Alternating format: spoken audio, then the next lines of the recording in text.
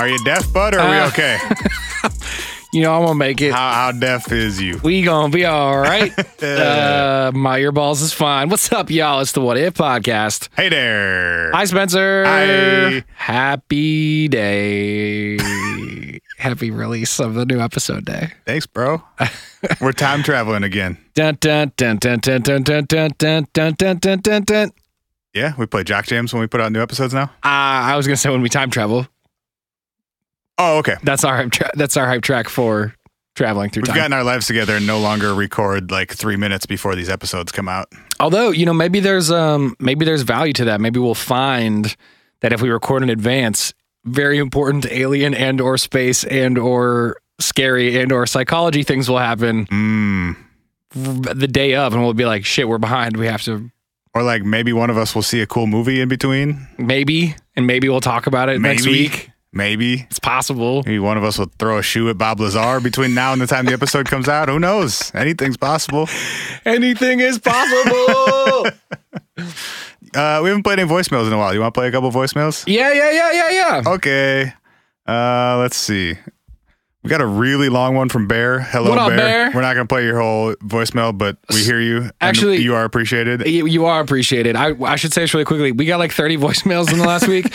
We can't play all of y'all's voicemails. We're sorry. We love you and we appreciate you. And some of them are like kind of personal, and then sometimes we don't play those. So just so you know, with with email, we can respond to you and say thank you for hollering. We love you too. But with voicemails, that's a little harder. So. But also, we do listen to literally all of them. hundred percent of them. Mm-hmm. Uh, 612-246-4614 if you want to call and leave us and a voicemail. and know do that, even if it doesn't get played on the show, we have listened to it together and laughed about it. Yes, and we love you. And l- laughed at Google's transcriptions of your guys' greetings. Mm-hmm. Like when Bear says, Morning, boys, this is Bear.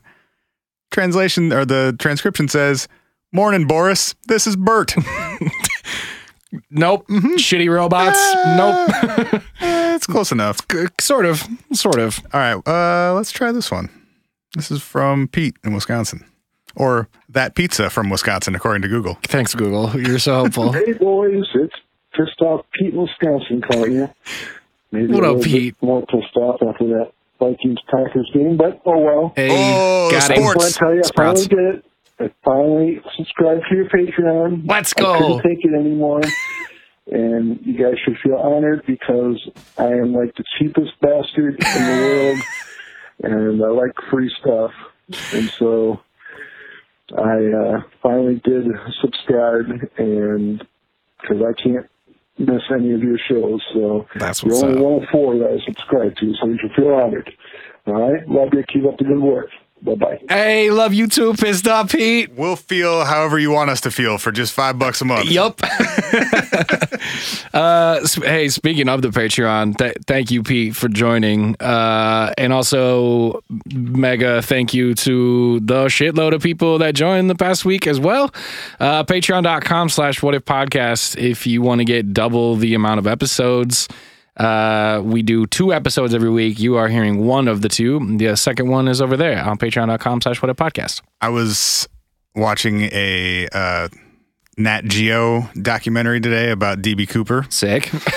and y'all we we really do's this okay you know this episode is not about db cooper we really do's this yeah.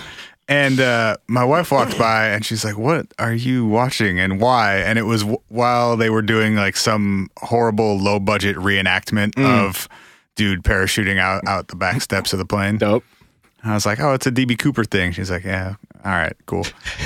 and and she's like, "When are you guys? Uh, when are you guys gonna get enough Patreon money that you can start doing shitty reenactments of the of the Oh. nonsense that you talk about on the podcast? not podcast?" soon enough not soon enough oh So- my god Patreon.com slash What If Podcast.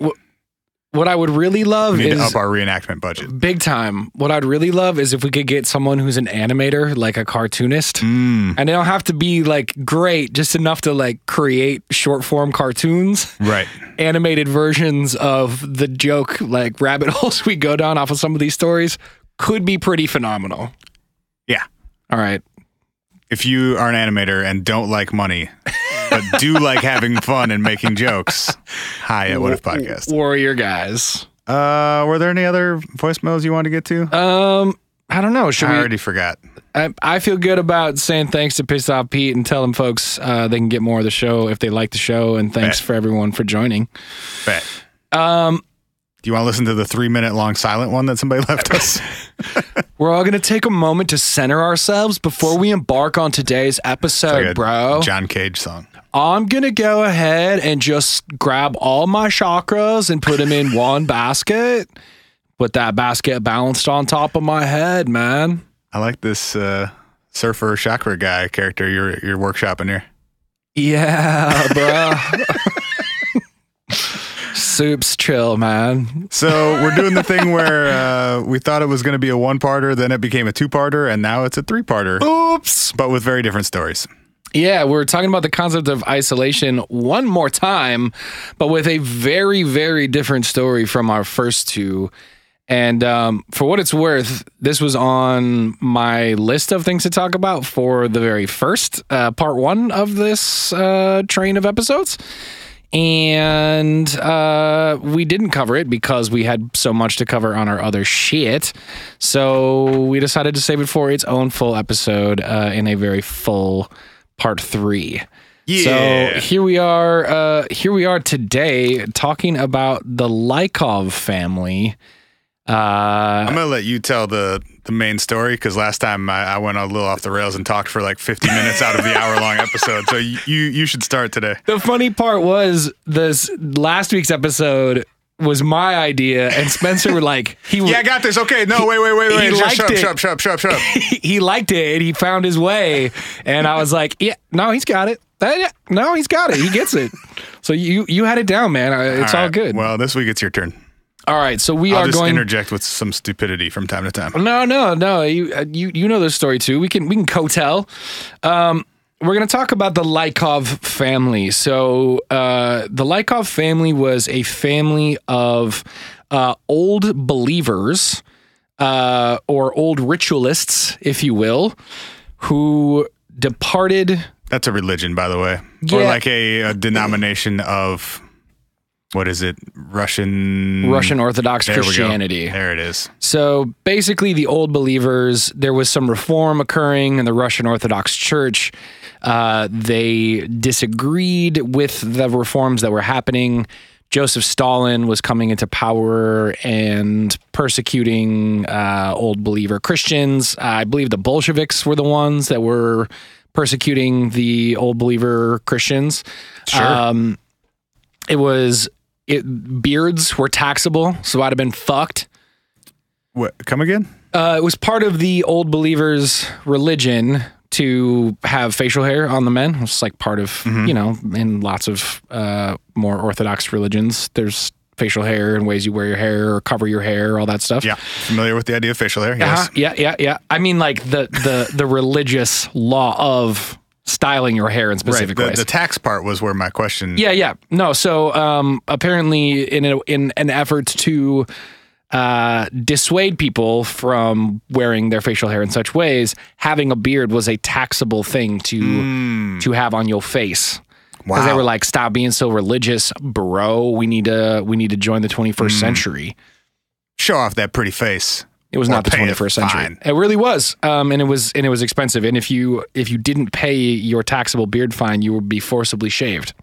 Wow. Yeah, it got kind of fucked up. Forcible shaving sounds terrible and kind of dangerous. Yeah, so fucked up that um His head fell off. well, kind of actually. Karp Lykov uh was working um I believe he was some sort of like manual laborer. I don't actually Beard understand shaver. understand what his job was. No, no, he had a beard. Um, but his brother was murdered by a Bolshevik patrol uh what basically next to him while he was working. So he Just because? Because um fuck old believers? I guess. Okay. I don't really know. I think it was just general persecution. Yeah, okay.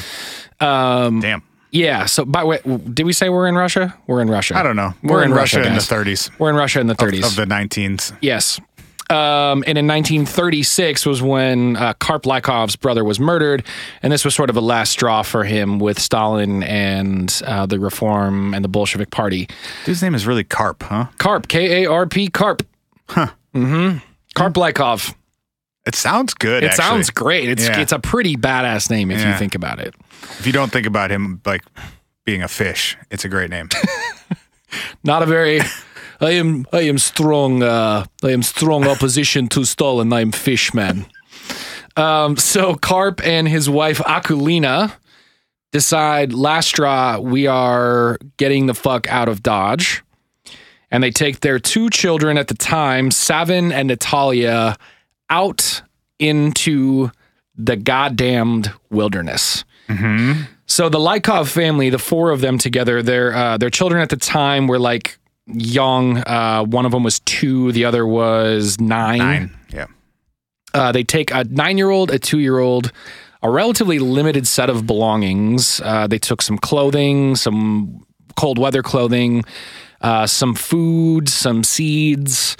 Um, A they loom? brought a spinning wheel. Yeah, a Yeah. loom. Uh, Well, for, they were gonna have to make their own clothes. they were um, because they were they weren't just getting out of Dodge like we're gonna go um, we're gonna go wait this out for a couple years. It was like They were going fuck full this doomsday shit, I'm out. Yeah, like Yeah. I'm we're done now with Forever. civilized quote unquote civilized or industrialized uh, the industrialized world. So they legit start going directly into it's called the Taiga. Taiga, Yes. not uh tiger with a British accent. Taiga, T A I G A And definitely not the rapper. definitely never the rapper. Um, the taiga is the name for the Siberian coniferous forests that are sort of at the. I don't even know what the uh, the latitude is specifically, but is, is the is the taiga specific to that region, or is it like a type of climate? my understanding is at that latitude worldwide is the taiga style climate. Hmm. The sometimes swampy coniferous forest of high northern latitudes, especially that between the tundra of Siberia and North America. Okay, so the yes. tundra and steppes of Siberia and North America. Sorry. okay, so, So, yeah, it is so a it is a band. around the northernmost part of our planet. Mm, maybe not northernmost, No, but sorry, way up there. but up there. Um, so they were going out into the forest in Siberia. yeah, for Forever. sure, forever. That was the plan anyway. Um, Hell of a plan. hell of a plan. Mm-hmm. Hell of a plan to j- just legit be like, you know what? Fuck this and fuck it forever. Not going to another civilization. Not trying to leave the country. Just trying to go where we'll never be found. So that's what they embark upon. Actually, um, they didn't do their trip all at once because it would have been quite hard. The closest city to where they eventually set up shop is a city called Abakan in the Republic of Khakassia. Um, uh, Abakan is a city of about 170,000 people where the Lykovs eventually set up their camp, if you will uh, their homestead uh, is about 160 miles into the tundra from there. So not fucking close, even a little bit. To get there took them like a couple of years, though, didn't it? Yeah. So Like they had actually, smaller temporary Right. camp or camps on the way. yep. They, I, I, and I'd be really curious to know. I don't think, well, in my research, I didn't find anything on this, but I'd be super curious to know if it was originally the intention to, uh, to only go so far out and then they're like maybe they saw hikers or hunters or fishermen or whatever and they were like nope fuck this not far enough and then they moved again Just- and they still found people so they kept going further and further and further until they were like okay we are finally far enough away that we don't see people or haven't seen people in years so this is good enough. Mm-hmm. or whether they genuinely started with that plan of like we're going to live here for a year and then How- i don't know I don't know how you would though. Like, how would you know what that destination was like until you were there? that's a I, good I point think it would have to be like, does this place work? Let's try it out for a few months. that's a good point no, it doesn't work. Let's keep moving. There's Yeah. not enough food, or we don't have enough fresh water, or right the weather is especially shitty, or whatever. Right, right. And boy, is the weather especially shitty. Did you do some actual like climate research? Oh yeah. Okay, what are we- It what are we dealing It sucks with? real bad. um, we're talking about regular winter temperatures of 30 below. like daytime Yeah. temperatures. Uh, I think so. Yes. Yuck. Um, lo- we're talking real short days, not a lot of sunlight because you're that you're far enough north that you get a lot of darkness in the wintertime. Mm, yep. Um, we're also talking like you do have a summer. I mean, the snow does melt in the summer, but it's really short, which makes your growing season for food extremely short. Yeah, one year their crops all died because it snowed in June. We're gonna get there, um, but yes, that's a super super good indicator of how fucked the weather was here. It there was a winter snowstorm in June that fucked their whole shit up. So um, that gives you some idea of how short that uh, their their um, their summers were. Um, Do we so- want to do we want to work backwards on this or uh how do you how do you want to go through this this next few decades? Um, oh, I think we should go forwards. Okay. So as far as we know, in like 38 or 39 is when the Lykov family settled at their, I guess what we would call permanent settlement, which was on the shores of the Abakan River. Um, speaking of, hey, we need a lot of fresh water. Um, they were on a relatively sizable river that is traversable. Yeah, traversable is a um, is a loaded term. It's traversable if you currently have like chainsaws and canoes and shit because there's so much snow and shitty weather that often trees fall over the river. So to traverse it like in current times, you literally have to take a chainsaw with you and canoe or boat up to the trees, saw them in half so they fall down the river and then keep going Wait, what? The river runs into civilization, but to go up the river to the destination that the Lykovs actually were today, that's the only way to do it because there's so many trees that fall throughout the course of each season. Oh, so the river is blocked by fallen trees? Basically, yes. So you have to have a chainsaw in your canoe uh, or your boat? it yes, like not not perpetually, but basically enough trees fall every year that it's a it's fucked up to travel. It's not like people are just generally Got it. doing this regularly up They and were down on foot for though, fun. correct? They were uh they were on foot. They were Yeah. on foot. If you were to canoe there from like basically civilization to get there, it's about a seven day canoe trip. Jeez. And in the wintertime or you know, just like a four year hike. or a four year hike, yes. Uh, or in the wintertime, it's the Lykov camp is again today uh, only accessible by helicopter. There's no Yeah. there's literally no way to get there in the wintertime. The river Um, freezes over, I'm assuming. river freezes over. Yeah. There's some rumors of a snowmobile Yeti? Ah, track. Yeti? Huh? Huh? How are we gonna do it? um, no, a, a snowmobile track that could potentially get you there, and again, roughly like seven to ten days. But apparently, it's like super treacherous, and there's How super. do you how do you do that when it's also 30 below? take a snowmobile? Or how do you go anywhere on foot when it's 30 below? Well, they wore a lot of clothes. Yeah. Yeah. No, I mean I get it, but they work in those I would for temperatures. sure die. Worked in those temperatures. Um, yeah. Well, think- some of them did. I think we should jump ahead to why we know any of this. And then work Um, our way back. Okay, that's fair. Uh, can we hang on, hang on, hang on? Let's let's at least say the family grew. Okay. Two more kids were had uh, in the years following their permanent settlement. Uh, there is a younger daughter that is born. Her name is Agafia. She was born in 1944, so about eight years after they have fully pulled the ripcord on civilization. Uh, and Dmitri, her older brother, who was born in 1940, so about four years uh, after they had pulled the ripcord on civilization. So Karp, Akulina, uh, mom and dad, and then Savin, Natalia, Dmitri, and Agafia, the four children, all live in this one encampment alone, undiscovered, and alive, except for mom For 42 ish years, for 42 years. no one had any idea where they were or that they existed.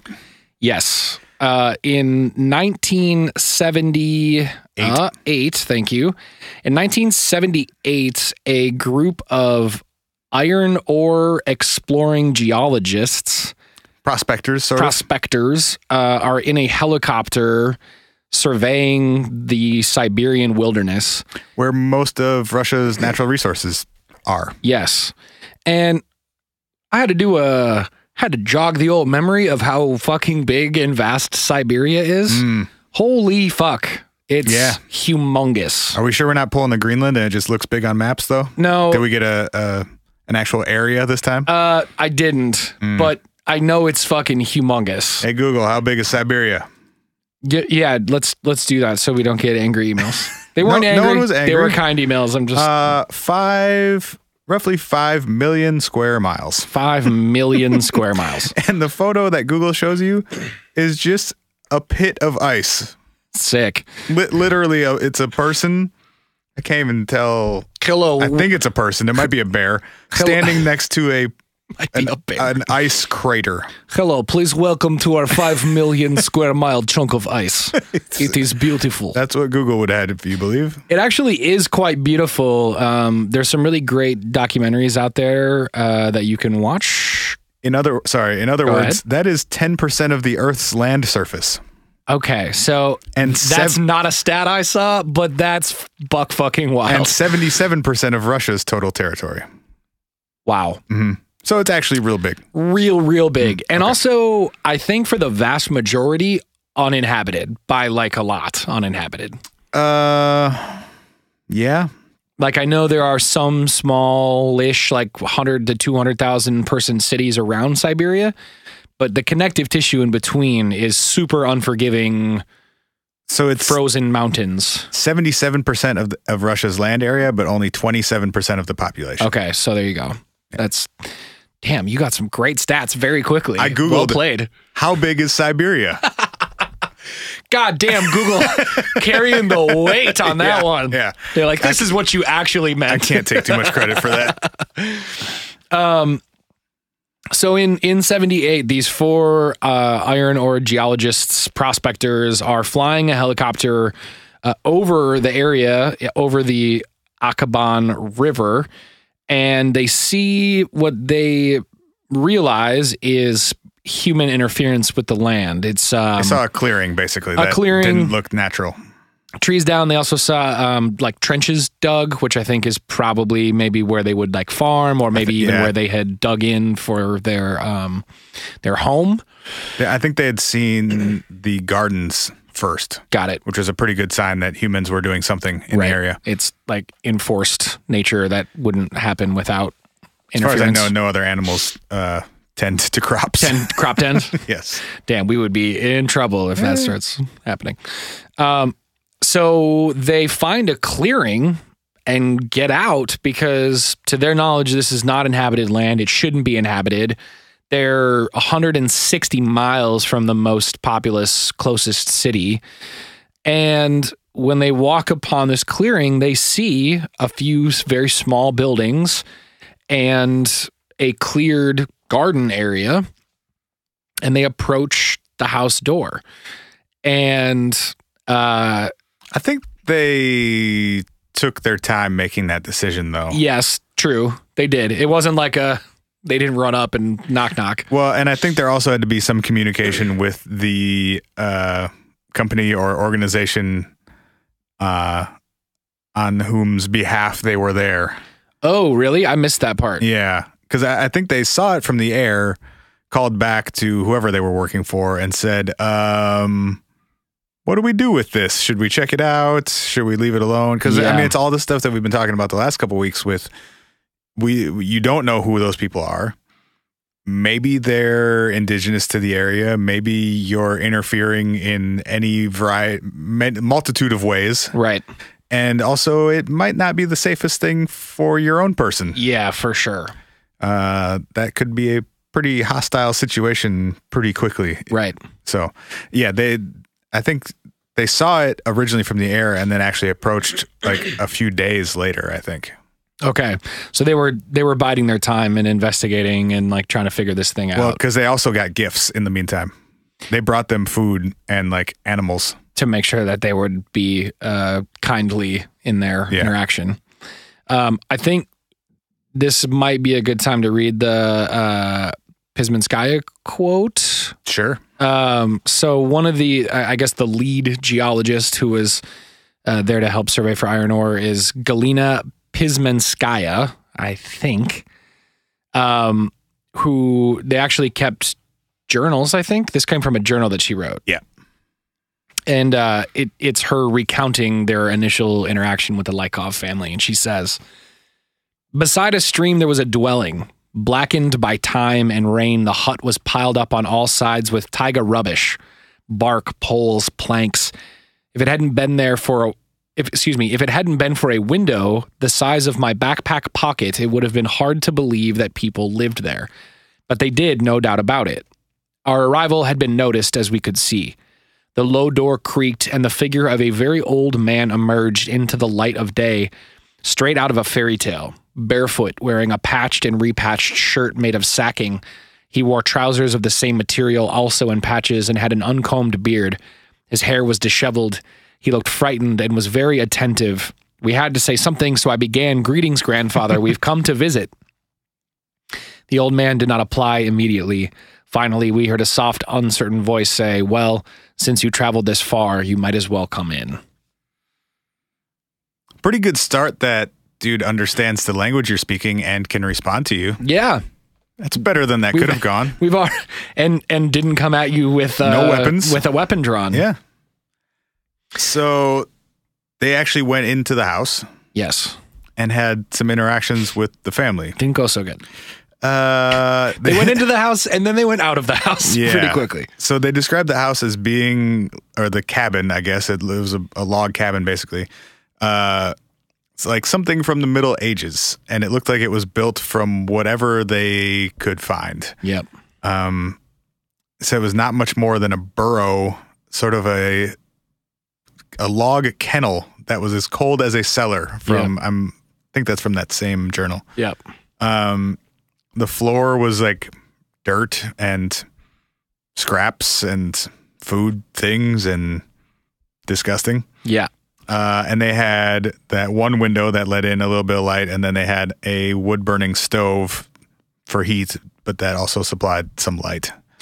Which And the whole thing was just one room where all five, six, six. be five at the time because unfortunately Mama Lykov had passed Right. before the geologist came. But at one point, six people had lived in that one room. yes. Five were currently living there. Correct.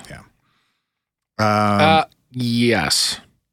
There was a period of time where the elder boys had been sent away to live on their own and created some other hut at some point. We Mm. don't entirely know how many years or how long that was for.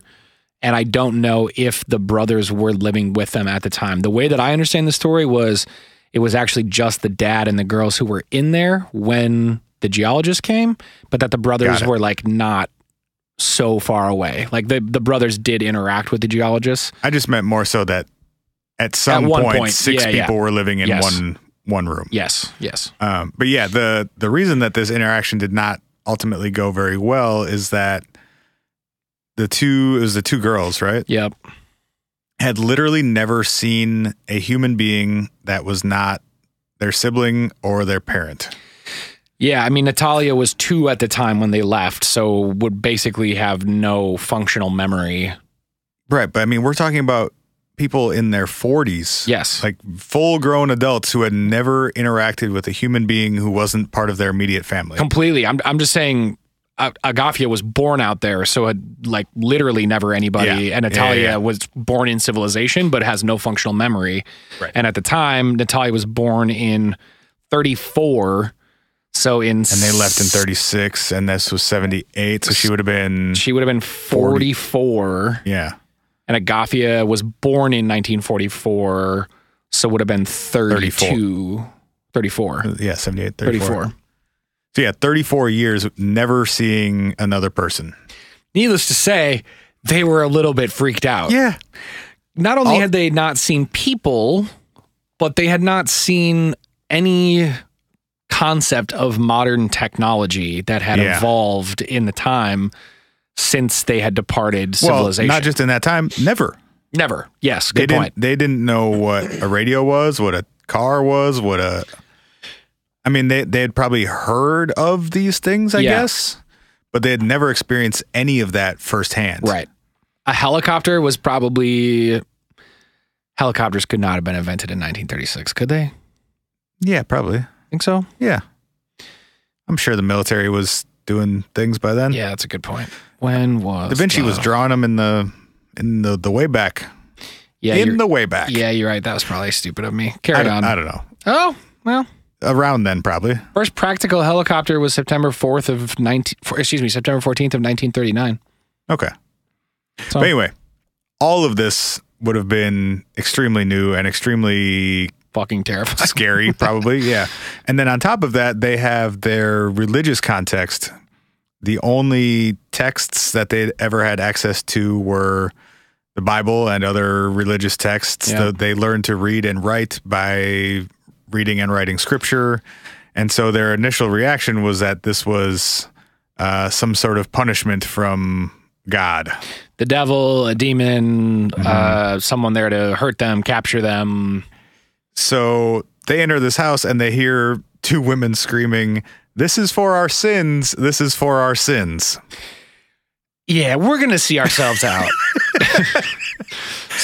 Sorry, They- uh, we're gonna go. They Grandpa Simpson their ass right back out the door. yeah. Boop, boop, But- boop. Decided to, like, a few yards from the house, sit down and eat lunch. Yeah. I guess as a sign of, like, uh, we're here if you want to try that again. Yeah. And we're not trying to hurt you or take anything from you. Right. Also, we have food if that's interesting to y'all. Do y'all fuck with food out Right, here it seems or like not? That might be limited and and we have an abundance.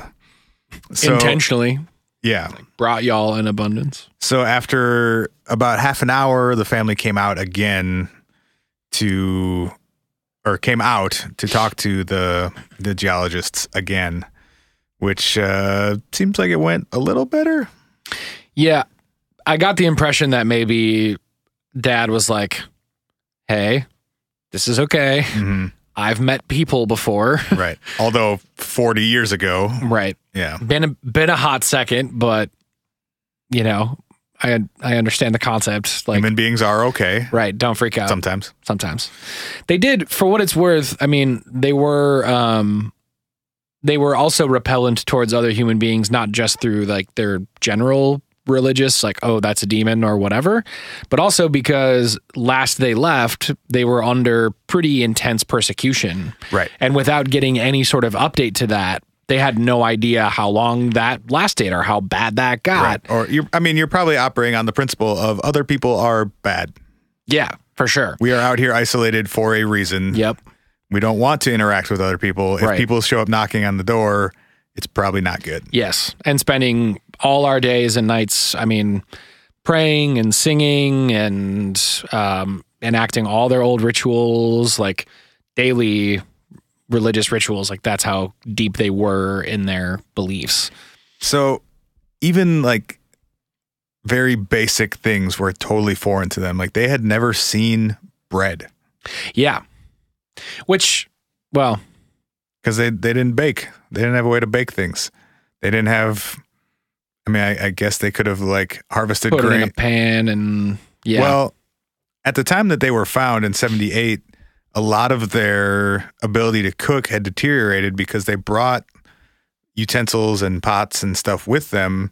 But over 40 years, they were no longer usable. They had rusted, they had fallen apart, right. and they didn't have a way to, you know, mine and smith metal goods. No, yeah. So they basically were not cooking, it sounded like.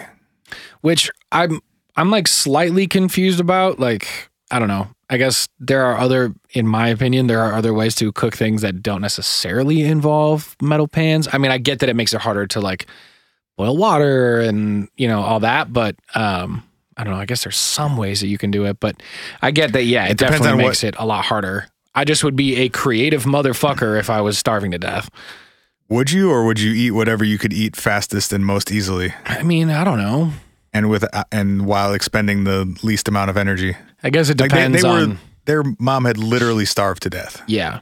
But but she starved to death 17 years earlier. Yeah, I mean, don't you think they got slightly better at like doesn't sound like it. getting food? Not particularly. The brothers would hunt a little bit. So, just real quick to wrap up the Yeah, yeah. geologist story, they returned several more times, and a lot of the original information that we had about this was from their conversations with uh, primarily Karp. It sounds like Yes. because he had the most um, context, I guess, with with which to interact with them.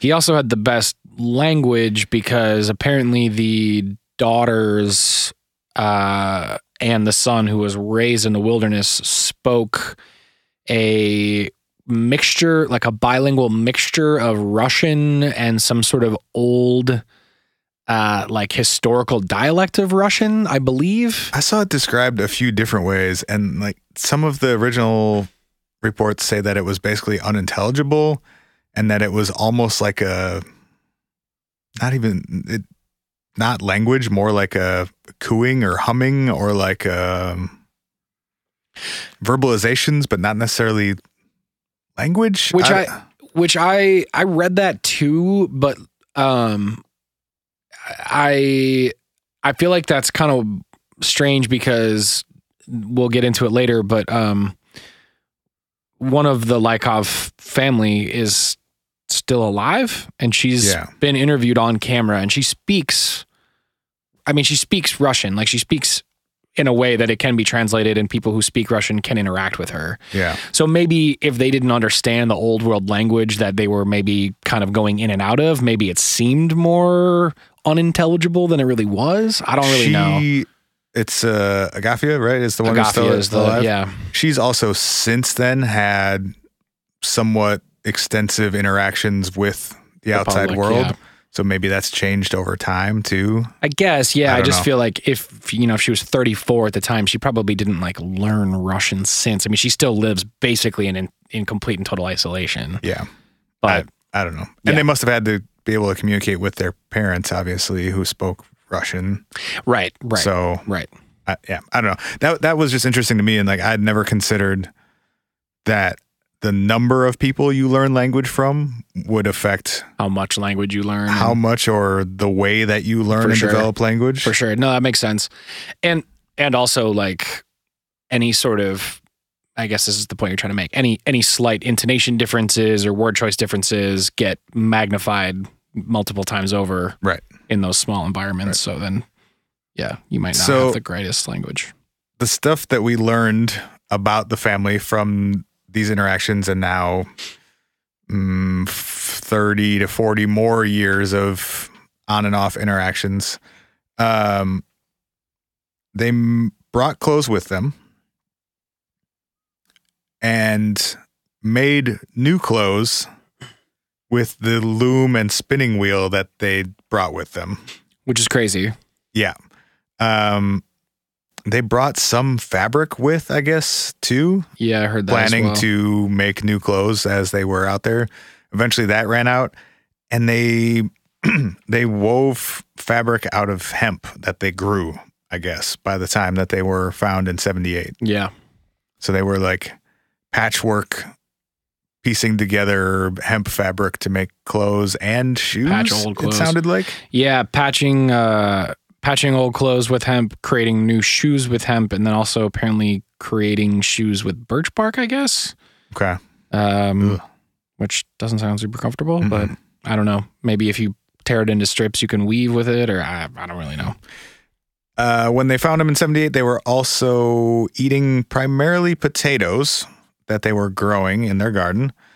Uh, and then they were like smashing and rolling them into potato patties Yeah. Mixed with hemp, rye, and other seeds and stuff for flavor. And then they would also collect, there were pine nuts and berries that grew in the like immediate vicinity of their camp that they would harvest and eat. Wild mushrooms was another one that they Mhm. would go grab and eat. And they, although they didn't have weapons or any like metal tools, they, at least one of the boys did hunt. And they hunted by basically following or like tracking and chasing animals until they would become exhausted and die or just like give up and allow you to take or kill them. Yep.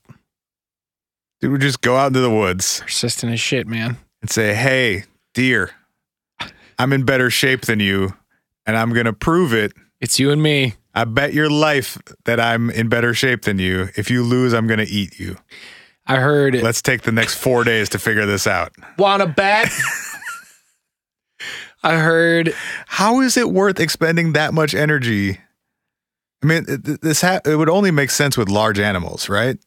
This To- would have to be like at least a deer or like an elk or something. so you could bring back enough to Yeah, because you're exhausting yourself for I'm assuming days at a time.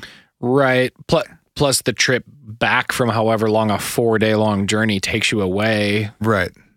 Literally running an animal to death. I'm assuming you're uh it's a pretty good distance away from where you started. You're slightly wiped. It's crazy. It's ins- it's insane. That was that was one of the wildest parts to me. That that I, that would have never even occurred to me that that was a method of hunting. I heard in one of the articles I read that the older brothers were so adapted to it at a certain point that depending on uh, the season, they felt that they could be more effective and faster barefoot. And so they would do four days, that. sometimes when there was snow cover on the ground, Mm. barefoot. And they would sleep on the ground overnight in temperatures that would go to like 40 degrees Hmm. And just get back up in the morning in their bare fucking feet and be like, cool, gonna go run after this deer for another day. Just Wim Hof a deer to death. Just day in and day out. Also- so they evolved, I guess, to handle some of their situation as well. How Not wild is it just you to know be what able to keep up with a deer? I? Those things are fast. Yeah. you you you better wait till you find the oldest deer you can find and be like, all right, you're gonna you're gonna be slower than the rest. Uh, in spite of all of that, they were almost always starving, sometimes to death. Um, 1961 was the summer that it snowed in June that we referenced towards the beginning of the show. right. And a frost killed everything that was growing in their garden In June. in June. And by the spring of the following year, they were eating their own shoes. Yeah. Not great. This is I, I'm pulling a lot of this from a uh, there's a Smithsonian article written in 2013 by Mike Dash, which I think brought a lot of attention to this story a second time after the original uh, discovery of it in 78. Yep. So a lot of the information we're, we're pulling is from there, but A lot of mine too is from uh there's a Vice documentary on the family and on uh on um Agafia as well. okay. The uh, the written version of that I think borrows heavily from that Mike Dash Smithsonian article also. As far as I could tell that was the the like first uh, more modern account of This it. is Smithsonian magazine. yeah. Got it. So anyway, in that Smithsonian article, it says they were reduced to eating shoes and bark. And Akulina died of starvation that year in order, or while trying to ensure that her kids had enough to eat. Yeah. The the I read it a couple different ways, but one was essentially that she borderline intentionally starved herself to death so that whatever food they were scrounging could be shared amongst the kids and keep the kids alive. They were they were down to a single grain of rye at one point. Their their uh, uh, I guess harvest that year was one grain of rye Jesus. that they guarded around the clock from other animals and from the elements and stuff, and uh, that one sprout gave them 18 grains at the end of the season, and they regrew their entire crop from that one sprout Wow. they were down to their family's like literal livelihood depending on a single sprout for a full season. Which also means that you're just not eating during that time right? Well, you if you're guarding if you're guarding a single sprout with your life you do not have other food. You're eating you're eating your shoes. Well, I mean, like they were to go back to our other stuff. Like they were doing some of the wild mushroom stuff, and they were eating like leaf leaf greens. And also, I saw at one point that they had started to catch some fish when it wasn't frozen over in the river. yeah they lived by a river Yeah, so that's also some of, sharpen a stick and stab a fish that's kind of what I'm like. Some of these moments of of pure starvation, I'm I'm a little bit um like how did it get that bad? But I guess Mhm. it's one of those things where we we've talked about this in a couple of couple dire situations on the show in the past about how like it's this kind of fucked up cycle where if you're hungry, then you don't have enough energy to go out and kill stuff or whatever. so then you make those fast choices like you were talking about. But then you eat the stuff around you and you have less energy and then you don't you know, and then you kind of spiral into eating less and feeling weaker and eating less and feeling weaker. I wonder if it's a an issue of having such a short season, both for like fishing. You probably have two months, right? Sure. Three months, maybe. And then if you don't have a way to like smoke that or store that meat somehow, Yeah. you can eat well for three months. Right. But now you have nine months where you don't have anything stored, or you're not growing, or you can't go out and scavenge the forest for berries and stuff. I mean, your growing season is just so incredibly short. Yeah. And if you don't have a way to store stuff, no matter how much food there is for those three months, by May, you're going to be screwed. Right. Yeah, for sure. And then and then you you factor in too, you know, in my head I'm going like, well, why weren't they like doing more fishing or whatever? But like, what are you gonna break through the ice with? Right? You have no tools. You don't have tools. You have no metal. I mean, you have the the pots you have that are literally like burnt through. But like, I mean, what are you, are you going to sharpen? I mean, I don't know. That that's where my head went was like, do you try to rip a piece of the pot off and like I'm turn sure it they into did. A, yeah, but I just wasn't. I mean, they were using 50 year old pots. right. There's Think- probably not going to be that much left, and they've been storing them in like Pretty Outdoors, temperatures. Yeah, Yeah. for sure. I. The eating your shoes seems like it has to be a negative ROI though. Uh, yeah, There can't be that many calories in a shoe, and now you don't have shoes. right. You have severely limited your ability to go get more food by eating your own footwear. I believe that's the definition of that old truism, like cutting off your nose to spite your face or whatever. Like, Yeah. that's kind of the definition of that. Also, if you're eating bark, eat more bark. Don't eat your shoes, right? Right, but that's kind of what I mean by the whole. Got to go harvest it. You, gotta, you gotta leave. This you is gotta, right here. I'm gonna chew on this because Right. it's already on my foot. Right. Also, uh, bears, wolves. What about them? They exist. tons apparently in this area of bears? I've heard Siberia has some bears. Yeah. Um. Apparently, it was like a lot. So I think, I think at a certain point, Google how many bears are in Siberia. I think they might have been a little bit like, uh, "Hey, it's pretty dark out and pretty cold out, and there's a fuckload of bears out there, and I'm not into it." Russia has the largest black bear population in the world. Sick. The brown bears of East Siberia are populous, but nonetheless are considered to be an endangered species as they are still largely treated as a game animal. Oh dang, Um, it's fucked up. oh, about 16,000 brown bears in the eastern Siberian taiga. Sixteen thousand brown bears. That's today, though. I bet there were a lot more in the 30s and 40s and 50s when they were not being uh, treated were like a game less animal. endangered. I would say, regardless, thousands of bears is too many to feel comfortable. Yes. Mm. Um. Mm. So in 1961 is when Akulina died. That left the family to five. Um. Unfortunately, just weeks after the geologers visited Geologers. geologists, They're out there just, they're out there just geologists, geologing around. geologing their asses off. The geologists and prospectors uh, Prospectists. left the Lykov family camp. Um, or I guess I don't know if they had fully departed or whether they were still in that period you were talking about where they were having sort of limited back and forth interactions. I think that was a pretty short period of time. It was like a few weeks, wasn't it? I, yeah. Because I also I heard that during that time the geologists set up some sort of small camp and there had been a time where uh where Karp and uh Agafia had watched TV. Yeah. They brought a television set with them, which and is plugged it into what? I didn't had no idea. That part seemed weird to me too. A radio, okay, you you have like a you know a crank radio or a battery powered radio. I or guess a- I'm wondering if at that time they had the concept of a gas powered generator that had like AC power. or maybe did uh was there like a smaller sort of base camp that these prospectors were stationed at, and then they would go out for shorter Maybe. and maybe and maybe they somehow worked their way there at one point. yeah Or maybe it was one of those like handheld antenna televisions. I don't know. Mm. Yeah But that's it seems too early for that. I don't know. technology. Yeah. Yeah, 60s, 70s technology. But at, in any case, they had some interaction with them over the course of a few weeks.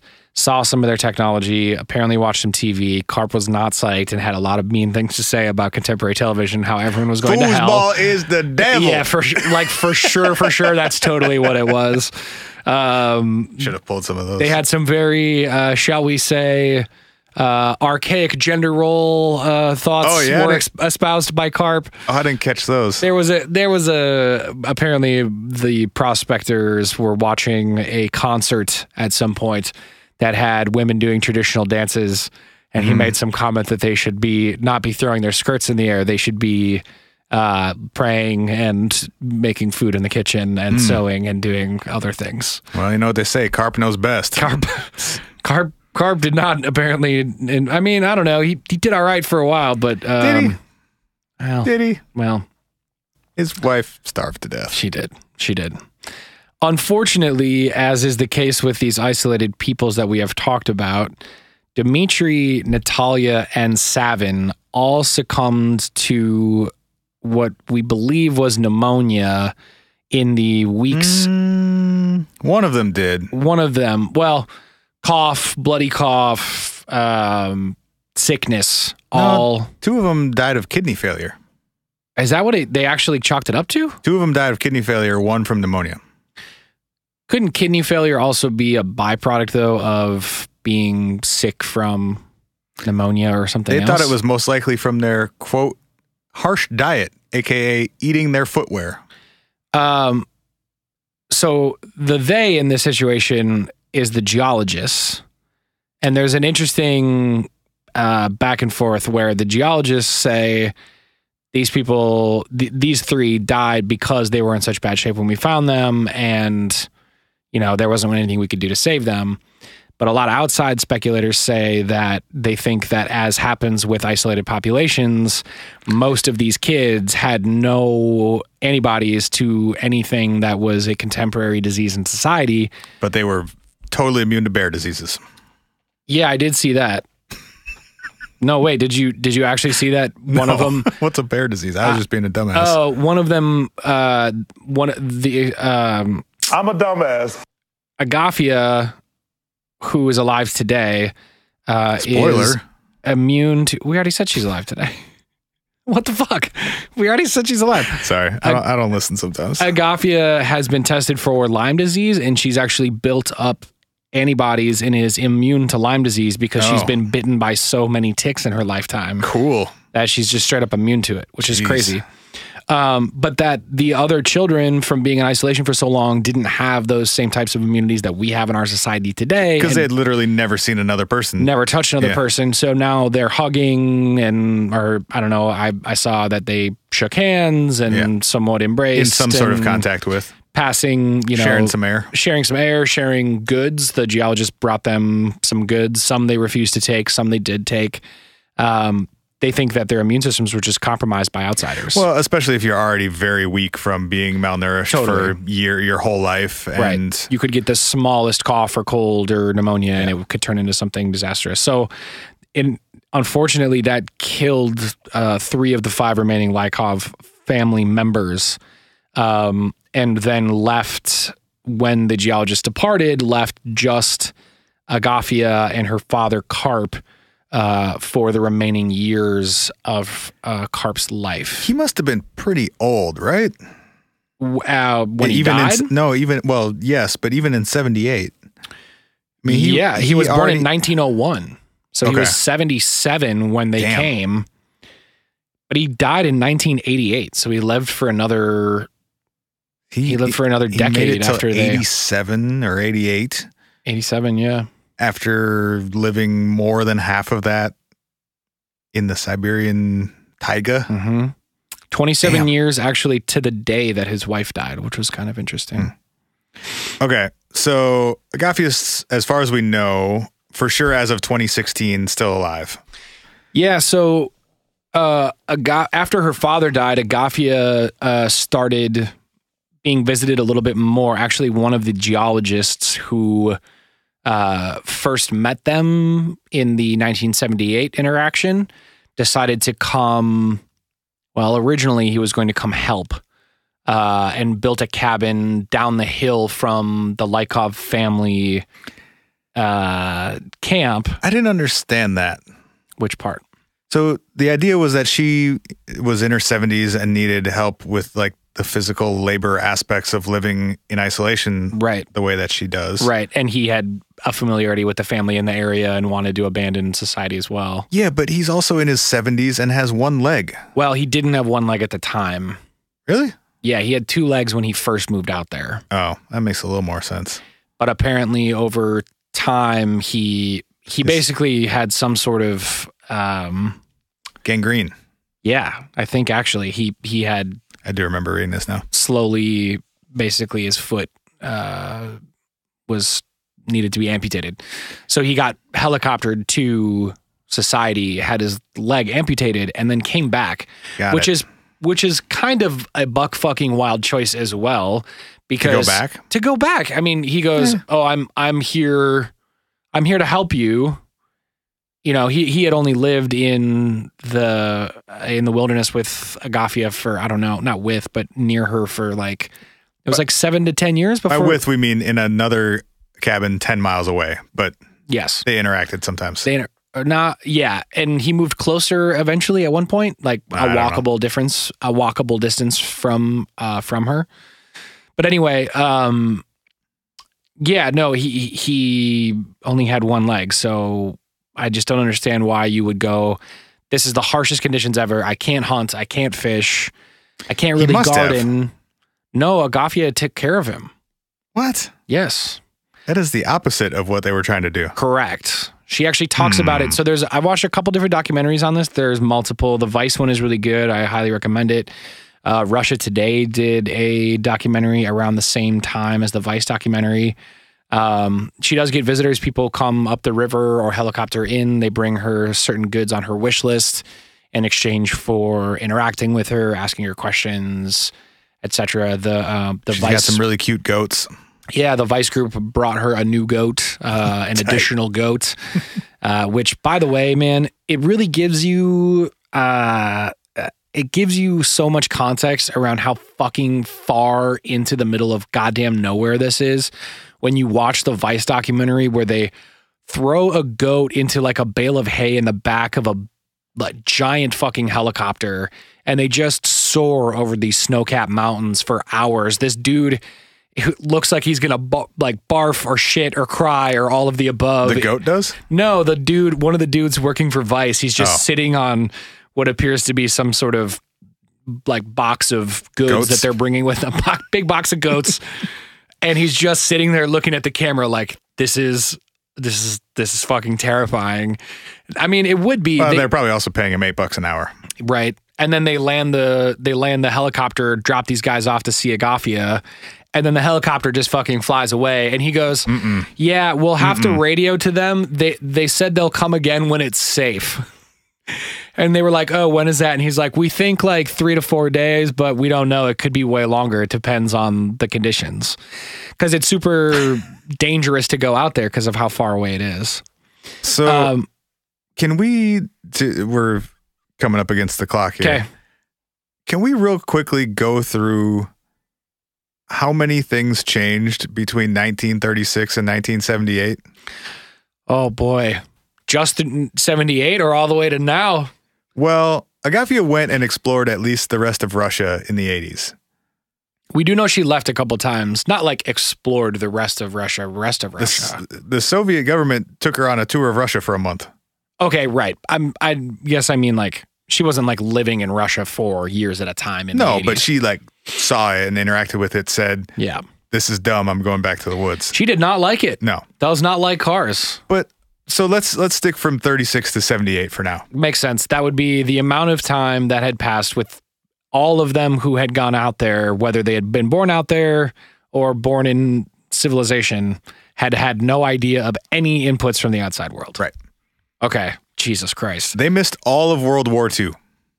Didn't even know it happened. No.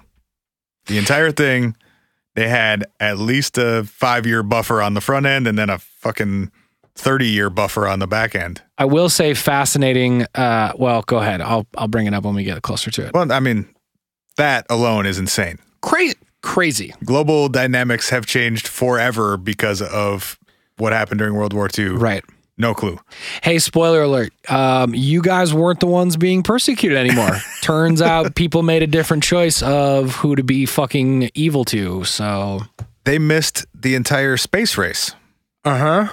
Which Russia was heavily involved in. Very much so. The craziest part about that is like Karp says because they're in the middle of nowhere, it's dark as shit. Mm-hmm. During the winter, they have, I don't know, probably 20 hours of dark every day. Right.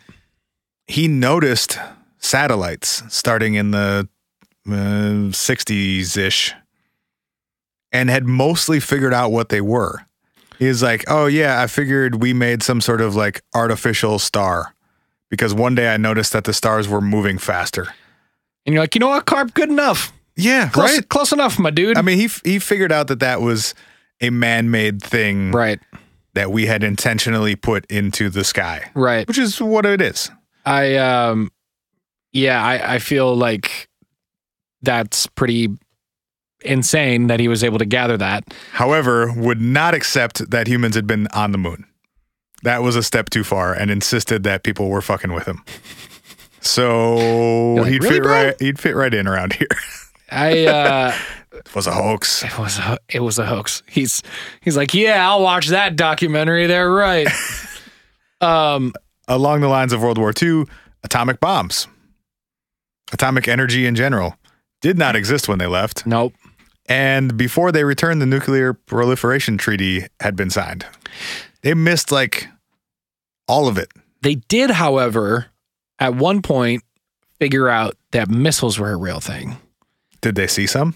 they not only saw some, they are not super far away from a uh, remote Russian airbase Hmm. that did test missile firings. Okay. And actually, there's a scene in one of the documentaries where Agafia um, basically walks up to this tree stump and starts beating on a hunk of metal that is very obviously a missile turbine that had fallen out of the sky and like crushed itself around a tree.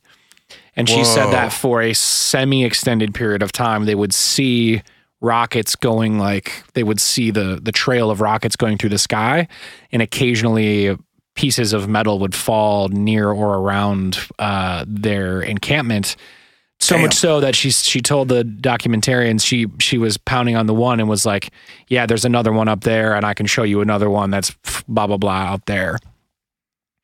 So Yikes. so at some point, did I don't she, know. Did she know like what they were or what they were for? I I think so. now, I'm, now I'm sure she does. Now she does. I think at the time, I guess I would say maybe not, but I don't know when they actually were falling. yeah. Part of me's thinking, I don't know, are we talking Well, that like would- Mm. Cold War missiles? Or World War II or yeah. Maybe World War II? If so, back then they would have been really young and that shit falling out of the sky out of nowhere would have been super fucking strange and freaky. Right.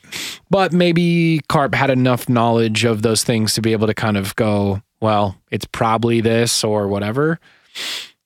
Yeah. There's your metal for some tools, by the way. Yeah. What I mean, if you don't have other tools though, that's going to be really hard to Yeah. fashion anything out of. I mean, just rip one chunk of metal off, and With what though? Your hands? I mean, I don't know. yeah, exactly. I'd try that before I eat my shoes. I'm just saying. I have so much energy. I'm going to start ripping rockets apart with my bare hands. Not so much, but also, I don't have food and I'm eating my shoes. Uh, they missed like just anything technological. yeah, It'd be one thing to go away for 40 years and come back or, you know, be reintroduced to certain things and be like, oh man, technology progressed in a way that I never thought it would. And Right. computers are a thing and, right, you know, television and all of that. right. It would be so much crazier to have no idea that those things even existed or have ideas of them like purely as abstract concepts. For sure. Like I- they they didn't they wouldn't have even known what countries or governments or like anything outside of the, you know, however many square mile area that they inhabited was. Yeah, They wouldn't even know about other climates. They wouldn't know like that the rest of the earth existed. yeah. I I read um I Only read through in, stories, I guess. yeah only through stories. I read I read in one of the articles that Agafia and her sister Natalia had like a conceptual understanding of uh horses but that when the geologist yeah. came, they showed him uh, they showed them a picture of one of them riding a horse, and it was like, oh look, mama, a steed, and they recognized it from like the biblical word for horses. Was would that have been through just descriptions, or did they have like illustrations or? They have Photos some, or something. They have some pretty crazy religious books that they had that look to be slightly illustrated, or at least done in a really um, thorough calligraphy style. Okay. um, but maybe through descriptions or maybe through drawing. You know, you draw something and show people what something might look like, and you recognize it through drawings. I don't know. Crazy. I got one thing to finish out with, 'Kay. if uh, Yeah, do it, if you'll allow me. please. So the um, Agafia Lykov, as Spencer and I were saying, is still alive to this day, as far as we know. We think. Um, she does have. There was a radio with the geologist who uh, lived out there uh, with her, and so as far as we know, she still does periodic check-ins using that radio with some people in civilization. Um, but we think she's still alive out there. In in one of the interviews in uh, the, I think it was in the Russia Today documentary that I watched. She closes out an interview in a really really interesting way, and uh, she's smiling and she says, "See that mountain? There are houses the size of a mountain on top of it.